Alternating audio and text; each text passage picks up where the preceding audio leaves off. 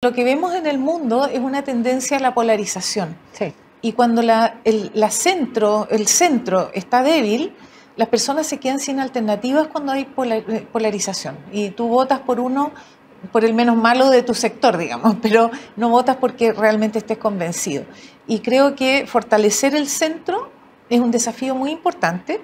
En Chile han surgido nuevos movimientos y partidos que están en formación, eh, algunos de ellos instrumentales.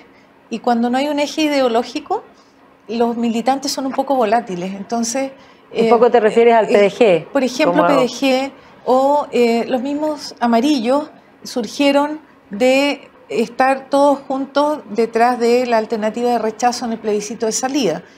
Y hay que esperar que decante su visión ideológica, Sí, porque sí. es- las personas entran a los partidos por lo instrumental y por lo que los atrae y también por una postura.